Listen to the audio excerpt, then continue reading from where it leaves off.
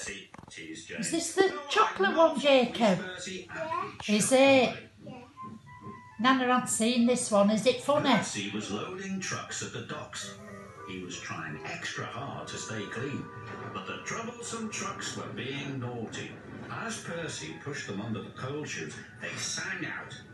On, on, on, they cried. Percy found himself under the chute, and coal dust flew oh, everywhere. No. No, coal His Percy black felt bride. filthy. Percy felt awful, but he knew he had to carry on. On the way to Callan Station, the troublesome trucks teased Percy even more. Clickety clack, don't look back, dirty Percy's on our track. Be quiet, Percy snapped.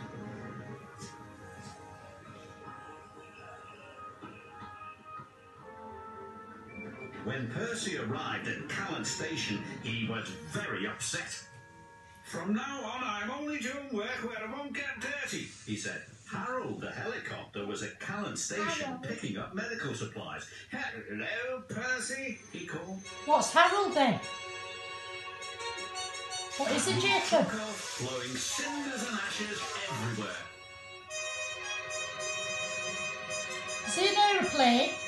Not again! What it? I want a washdown. Usefulness before cleanliness. Helicopter.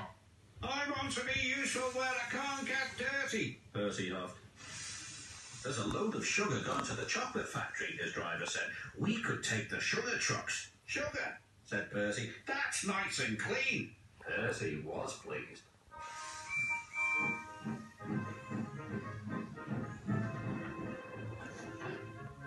Percy didn't know that earlier a leaky truck had spilled oil on the track.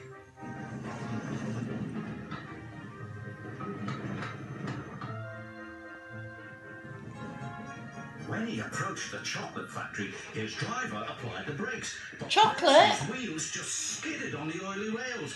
Oh no! hooted Percy. Oh. Oh no.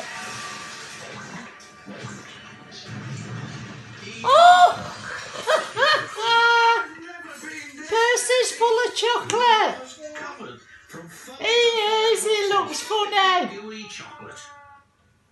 Back at the sheds, everyone thought it was very funny. It's very funny, Jacob. Thomas hooted. Pudding, Percy, teased James. Chalk ice on wheels? Chalk. Henry. Disgraceful, said Gordon pompously.